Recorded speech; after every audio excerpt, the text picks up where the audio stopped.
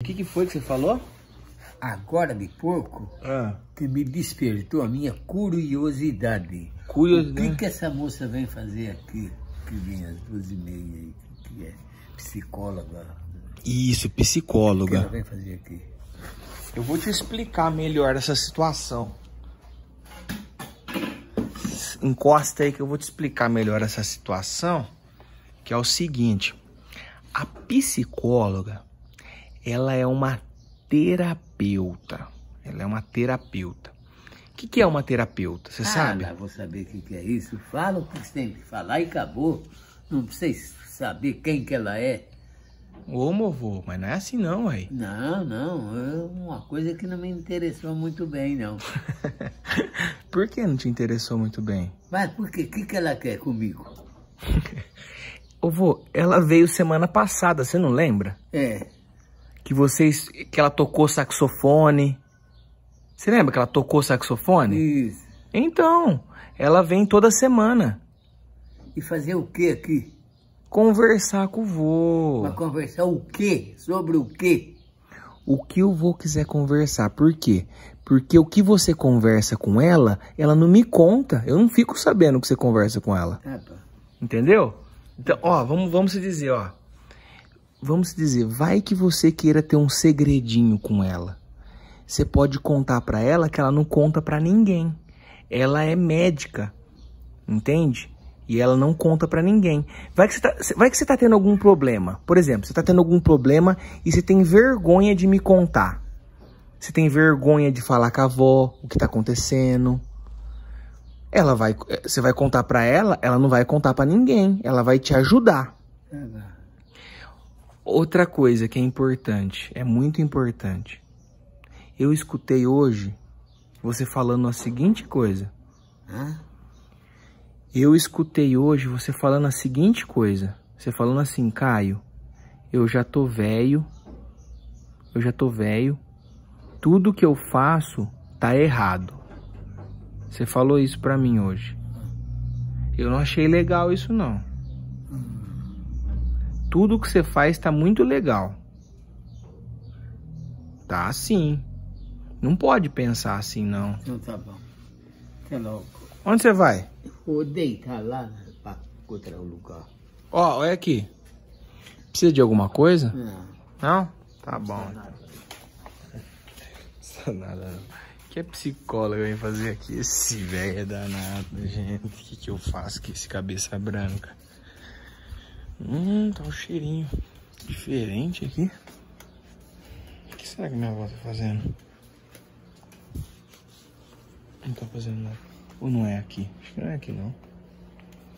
Do quieto, é, não é aqui não. Saiu daqui do sofá pra ir lá ver o que, que a psicóloga vai conversar com ele. Eita, nós. Ô vó, eu falei com a Diana, psicóloga, e às duas e meia ela vem, tá? Aí ela faz com a avó primeiro. Aí depois eu vou te ajudar pra gente fazer os bolinhos de chuva, você quer fazer? É. Tá. Aí eu vou comprar mais algumas coisinhas, porque na hora que o pessoal chegar da predileta, aí vai estar a Diana e o pessoal da predileta pra tomar um café com a gente. Tá bom? Tá bom. Combinado então, hein? Ei, seu Anésio, vovozinho do Brasil. Ele tava me chamando? Ah, ele foi lá no fundo, ele foi lá perguntar. Ele foi lá perguntar e perguntou assim: O que, que essa psicóloga quer comigo? Ah, ele foi lá? Ele foi. Eu não vi isso aí. Não Eu assim, o que, que essa psicóloga quer comigo? Falei, tô falando pra você, filho. Você que ninguém não tô com isso aí. Ele, não- ele não tá entendendo pra que tá vindo. Tudo bem, vó, mas à toa não é. É, uma conversa é muito bom, se abrir é muito bom. Não, mas com ela. Não, você não pode ver, você tem que falar o que, que você tá falando com ela. Não, Pensa nisso, pensa no você. O dele é o dele, o seu é o seu. não, mas eu queria ver o que que ele tá falando. Não. Ele não tá entendendo nada. Ah, deixa ele falar o que ele tem que falar. Ele fala tudo que ele tem que falar. Você fica jogando dinheiro no ventilador. Não é jogando dinheiro no ventilador, vó. Eu estou cuidando de vocês, vó. Isso é importante pra vó. É. Uma terapia. Terapia é muito bom, vó. Vó, é que você não tá sabendo aproveitar. a terapia. Mas a terapia vai te fazer muito bem. A Diana, ela vai entender os seus problemas, ela vai conversar com a avó, ela vai tentar ajudar a avó a se tornar uma pessoa melhor. Nossa, então eu sou ruim mesmo? Não, vó, não é que você é ruim, que eu sou ruim, mas todos nós somos seres humanos que a gente tem muitas falhas. A gente comete muitos erros o tempo todo. E se a gente puder melhorar os nossos próprios erros, se a gente puder se tornar pessoas melhores, positivo. É. E para a gente se tornar pessoa melhor, para a gente corrigir os nossos erros, a gente precisa sim de terapia. É importante. Sabe por quê? Vou te explicar. Às vezes lá no passado, você passou alguma coisa que foi muito difícil, foi muito constrangedor para você. E depois, de, depois daquilo que você passou, daquilo, daquilo em diante, você achou que a vida era daquele jeito, porque você só teve aquela experiência. E aí você cria dentro de você mesmo as suas próprias conclusões que a vida é assim. Eu passei essa experiência e a vida é assim. E não, a vida tem diversas experiências, tem diversas formas de se ver a vida, tem diversos aprendizados. A gente pode passar por terapia e depois a gente melhorar muito, evoluir muito. A terapia é muito boa e nunca é tarde. O mais legal disso tudo não é porque você tem 80 anos e o vô tem 84 que eu posso descartar vocês, sabe? Ah, então você já tem 84 anos, 80, vamos pôr vocês no asilo, deixar vocês lá parado mesmo? Vocês ficam lá abandonados, lá tem comida, ah, tudo, sabe?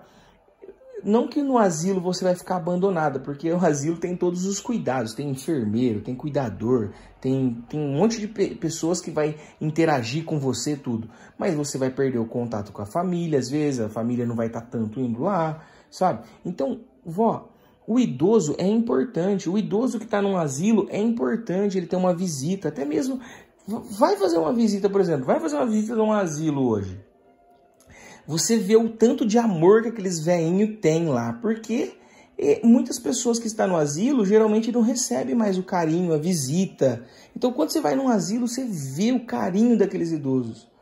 E eu vó, eu, eu, eu quero fazer de tudo para que mesmo que a avó esteja já veinha, a avó possa ter uma qualidade de vida boa, a avó possa pensar diferente, pensar um pouco fora da casinha, raciocinar, fazer uma, med uma meditação, fazer uma terapia. Eu acho importante que a avó faça uma terapia. Eu acho, eu vejo isso como importância.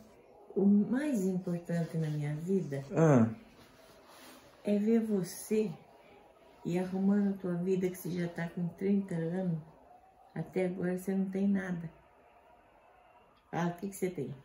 Ô vó, Nada você tem. eu tenho um coração muito bom. Desse tamanho, ó. Então, O teu coração acho que é desse tamanho. Não E- sei como é que tá cabendo aí no peito. E, e tem valor? Dá pra comprar? Tem dinheiro que compra? Porque o nada pra você é físico. É casa, carro, né? Não, é físico. Não, mas Eu tenho sim Eu sei, muitas coisas sei. boas. eu sei, você tem graças a Deus, tem saúde. Tenho muita saúde. É, a- aquela alergia que te pega de vez em quando, mas é quando você abusa. Minha alergia é boa, O controlada. teu coração é do tamanho do mundo. Um coração Isso eu grande para ajudar as isso eu pessoas. Então, vó, Mas, filho. minha vida tá bem de- resolvida. ó, de repente você, você encontra a tampa do seu balaio. Ah, você quer que eu compre a tampa, a tampa do balaio? Você quer que eu case? ó, Você não. quer bisneto? Você tá, você tá Não, querendo é Não bisneto? tô falando de bisneto, porque não vai dar tempo. Vai. Por quê? Você já tá entregue? Esse ano você vai então? Ai, não sei se eu vou aguentar até na metade. Eu escuto isso do você já faz cinco anos. Do vô já faz dez.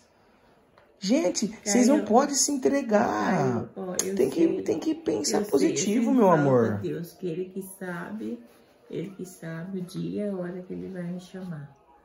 Mas que eu não quero ficar dando trabalho para vocês. Mas isso não é você quem escolhe. Eu sei. Ó, Não é você quem escolhe. Eu- Mais trabalho que você já de dá. repente você arruma a tampa do seu balaio, aí você quer casar, Hum. e eu não quero que você vai pagar aluguel. Ah, Eu entendi. não quero. Mas isso, mas isso não cabe a você. Ou cabe? Essa preocupação. Por exemplo, vamos se dizer, você já não criou os seus filhos, os seus netos já estão grandes, É, sua, essa sua preocupação é em ser feliz. Sabe, não é isso, essa questão de ah, eu não quero que eu pague aluguel. Não cabe mais a você isso, vó. É uma preocupação que você não precisa ter. Mas de novo, eu não fui feliz. Por que, que agora, como que você quer que agora que eu tô com 80 eu não vou ser feliz?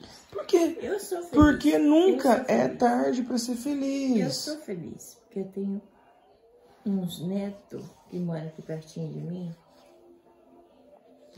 Tá, vó, não, eu, mas eu sei, eu entendo. Faz tudo Só, pra mim. só que assim, ó, é isso que, eu, é isso que é o bom da terapia. Na terapia, você pode falar com a Diana sobre tudo, tudo, tudo, tudo, tudo, tudo.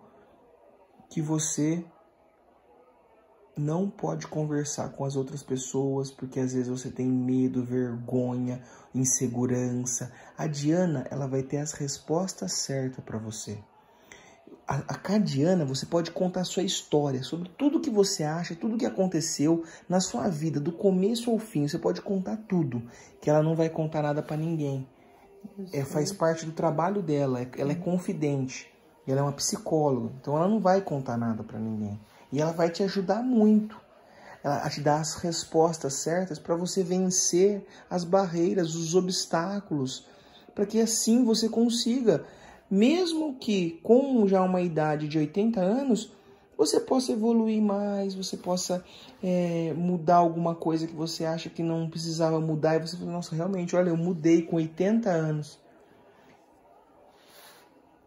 Hum, filho. É tão duro a gente chegar nesse ponto e, e ficar olhando teu tucano aí na perna. Opa, deixa meu tucano quieto. O teu tucano aí na perna. Não sei se é tucano, o que que é, mas que é bonito, é, hein? Meu Deus do céu. Caio, mas é. Ô filho, eu acho que isso aí não. Pra você, na tua cabecinha, você acha que importa. Mas sei lá, eu acho que não importa não, esse negócio de ficar fazendo. eu até esqueço. Terapia. Terapia. Eu falar fisioterapia. Sabe por que você acredita que isso não importa? Porque você não foi acostumada com isso, né? Você não teve, vamos dizer, essa educação, né? Que terapia é importante, Eu sabe? sempre. A gente, a gente de uma forma geral, vó, não foi educada a isso. Eu Então por isso que a sempre- gente criou as barreiras. Eu sempre converso com Deus. Ele sabe tudo da minha vida. Deixa eu ver teu joelho, Caio. Não, vó, presta atenção aqui. Deixa No... eu ver teu joelho. O que você quer ver no meu joelho? Parece que tá cheio de carvão. Carvão, vó. É que tá sujo mesmo. Precisa passar uma buchinha e lavar. É os pelos também fica preto, parece carvão. Então, mas ele sabe tudo da vida da gente. Certo, vó, tudo Ele bem. dá- eu concordo. Eu con... Não, eu concordo. Mas é, pode ter certeza que se Deus está colocando uma terapia na sua vida, é porque Ele quer muito que você aprenda algo com ela. Então aproveite. Aproveite que daqui a pouco ela está aqui para conversar com você, bater um papo e, e vocês fazer mais amizade ainda. Porque toda semana ela vai vir conversar com você, tá? Toda semana. Todas as semanas. Todas as quintas ou sexta-feiras, tá bom? Toda... Toda. Toda semana. Ah, não tá vindo toda semana. Mas agora ela vai vir toda semana. Toda semana ela vai vir, Maria. tá bom? E você vai cada vez mais se aproximar mais dela, conversar mais com ela, se abrir mais para ela. Pode falar de tudo, viu? Pode falar de tudo que ela é, vou te dizer, ela é uma pessoa que você vai poder confiar, entendeu? Caio, Joia? Caio, Então tá bom. Ô, Caio, precisa fazer a cabeça desse velho aí? Ah, Se eu fizer uma sopinha com, com músculo bem, um macarrãozinho bem Ó, cozidinho. uma coisa que ele falou lá hoje. Hum. É, uma coisa que ele falou, porque assim, eu já falei pra você, expliquei que o problema do vô que, que ele tá enfrentando agora é 100% emocional. Ele precisa dar uma, uma elevada no emocional dele. Então eu já, eu já te expliquei que se você quiser ajudar, não é com comida, é com o seu jeito de conversar com ele, de tratar ele. Fora isso, ele, ele não vai conseguir recuperar. Ele falou para mim, falou assim, ó, Caio, eu tô com 84 anos, tudo que eu faço não presta. Tudo que eu faço. Eu vou fazer qualquer coisinha, a Elsa fala que não tá bom. Então, assim, ele. Eu sei, vó, a culpa não é sua, eu sei, tá? Eu não tô jogando a culpa pra você. Mas ele tá com uma manha muito manhosa. Ele quer a Erza de qualquer jeito. É, eu também queria ele Entendo. quando eu tinha 30 e poucos Então, anos. conta isso pra psicóloga, pra terapia. Conta isso pra ela. Fala, quando eu tinha 33, meu fogo, nossa senhora, subia nas paredes pra pegar esse anésio. Só que hoje não sobe mais. O que, que eu tomo? Pergunta pra ela, o que, que eu tomo pra meu fogo reativar? O que, que eu tomo meu fogo reativar? Você pergunta pra ela, ela vai te explicar certinho. É, o que que a gente, meu fogo reativar e o dele não. Ah, aí, aí, você, aí você dá um jeito, ó. Depois que seu fogo reativasse, aí você, aí você fala pra ele, ó, conversa com a psicóloga que deu um jeito em mim também. Entendeu? Aí ela vai dando jeito no fogo de vocês dois. Mas é, vó, a gente tem que ver a vida mais forma, mais alegre, mais leve. Se a gente for tudo que eu for fazer, é isso que eu tô falando pra você. A psicóloga, a terapia, ela trabalha justamente nisso. Eu passei algo há 30 anos atrás, nossa, e, a- e de lá eu, eu, eu levo isso porque me feriu muito lá atrás. Feriu, mas e aí? Você vai viver com esse ferimento? Você não pode tratar esse ferimento? Será que não pode ser conversado? Eu entendo que para isso tudo acontecer, cabe muitas outras coisas. Eu não tô te julgando, eu sei o quanto você se importa com o vô, o quanto você quer ajudar ele. E ele tá com uma manha violenta. Ele quer o carinho da Erza, ele quer conversar com a Erza, e ele quer que quando ele vai fazer vai conversar com ele, com ele só fica debochando. fica debochando, é, ainda vai quando vai conversar com ele, quando vai fazer alguma coisa pra ele, ó, come esse bife, ah, essa porcaria aí não presta, tá cru, tá cru, ele xinga o seu bife, isso deixa você mais lascado ainda, pô, tô fazendo de tudo pro velho, o velho me xinga ainda, eu entendo pra caramba, só que ele ainda assim, quando ele vai ter que fazer alguma coisa pra avó tal, ah, corta uma cebolinha e ele corta e você fala pra ele, não, não ficou bom. Isso pra ele, na cabeça dele, hoje, na cabeça dele, é que ele não presta mais. Ele já tá criando isso cada vez mais. Então, a gente tem que tirar isso da cabeça dele. Sabe o que ele falava pra mim quando ele era novo? Ah, Quando a pipa do vovô não subisse mais, ah. ele ia dar um tiro na cabeça. Até hoje não deu. Ele falava isso? Quando a pipa não subir mais, eu vou dar um tiro na cabeça? É. Olha só, que machista esse velho. tinha essa ideia. Tá vendo? sempre falava, "Ai, eu- eu- Como ele se fechava pro lado sexual. Eu falava e- assim, e- daí, só, você vai dar nada, tiro na cabeça aqui, tá louco? É porque na cabeça dele, vó, com certeza, ele tem o, a- algum gatilho de que é, se ele não é, ter um bom desempenho no sexo lá, ele não, ele acaba aqui não prestando para mais nada. Mas você viu que não aconteceu isso. Ele acabou que entendendo. A vida fez ele entender que uma idade chega, ele tem 84 anos, as coisas vão acontecendo. Mas até mês passado eu já pegava vocês engatinhados aí, né? Mês passado. mês passado. É, que eu cheguei aqui de surpresa, peguei vocês rolando lá. É, é, meu, é. Mês passado, Tô cara. brincando. Tem muito mês aí pra Tem muito. Bota Ô, vó, não, tô brincando. Mas olha aqui, pensa, pensa com carinho em tudo que eu tô te falando e saiba que eu te amo demais, tá? Você é muito importante pra mim. Eu sei, só que você não tá me obedecendo mais. Eu falo uma coisa, você não concorda. Você tem, eu tenho que fazer o que, do jeito que você quer. E a gente, Ô, vó, eu, 80 anos, a gente não tá acostumada ô, vó, eu tô aqui pra te obedecer sempre. obedecer. Eu tô aqui pra te ajudar Obedecer sempre. aos netos. Eu tô aqui pra te ajudar sempre. Eu tô aqui pra fazer as coisas pra você. Olha o tanto de coisa que eu tô fazendo pra você, vó. Sei, É que tem coisas que você extrapola e eu preciso te dar uns toques. Vó, as, as, as coisas não é assim, vó. A vida não é assim. Tem horas que eu preciso realmente dar uma chamadinha de atenção pra vó olhar pra vida de uma outra forma. Eu sei, é difícil, é difícil. Mas não é por mal, eu não quero o seu mal. Eu quero te ajudar cada vez mais, tá bom? Então, conte comigo. Ó, deixa eu lá preparar as coisas que daqui a pouco a nossa psicóloga tá aí. Agora já deve ser umas uma e meia já, hein? Uma hora só. Ah, Tá cedo. Tá de boa. Eu vou ficar um pouquinho aqui jogando, tá? Não, fica tranquilo. Deita aí. Deita aí. Ela vem só duas e meia, tá bom? Fechou, então. Te amo, tá? Vai com Deus. Vê, Beijo. vê se faz a cabeça do velho. Hum. Se eu fizer uma sopinha, se ele come. Vamos ver, vamos ver. Põe cenoura, batata. Conversa com a psicóloga. Conversa com ela. Conversa com ela. A psicóloga não vai falar pra ele. Depois ela vai conversar com ele e ela, ela vai explicar.